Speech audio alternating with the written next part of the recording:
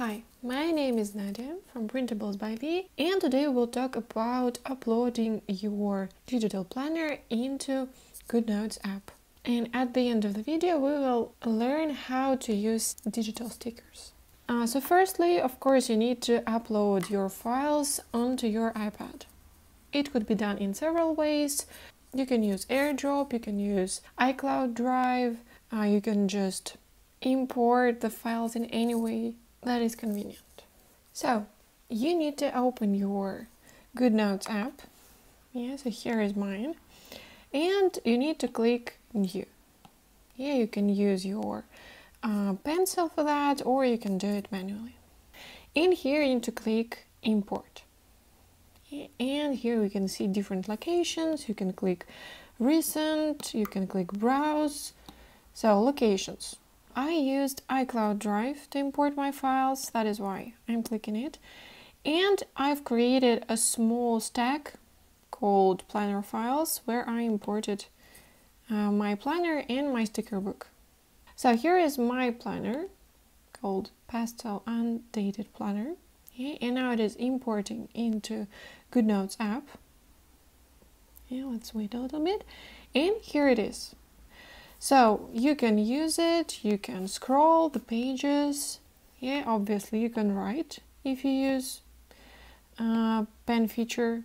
Yeah, so for example, right now I'm using white. That is why you can see anything, but if I use a different color, you can write here and use it as a notebook. But if you want to use tabs, you need to click this button. Yeah, so this button allows you to click on the tabs that we have in this undated planner. And of course, you can duplicate any page simply by clicking this button. Yeah, so for example, I can choose, I don't know, daily, and I can click current template, and the page will be duplicated. So if you want to use the sticker book, click import, uh, click a sticker pack new and the file will be in GoodNotes format. Uh, that is why it looks a little bit weird on your computer. So write now it is importing and here it is. Again, you can scroll, you can uh, right here, but I'm not sure you need to. So how to copy and paste your stickers. First, I need to click the lasso tool and you need to choose uh, the sticker that you want you circle it and you click on it and you click copy. And after that, you go to a place you want to copy a sticker to.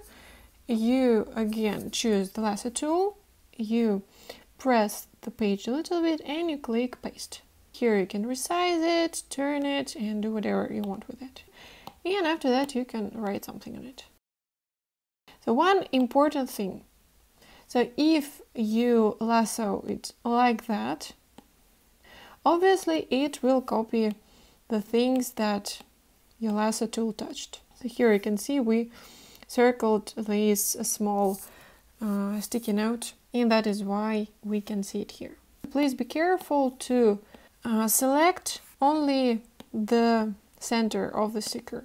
And again, you can drag it over your page by just uh, circling it and dragging it uh, I think this is the main information that you need to know to get started. If you have some questions, please leave them in the comments below or write them to me on my Etsy account. So I will see you in the next video. Bye!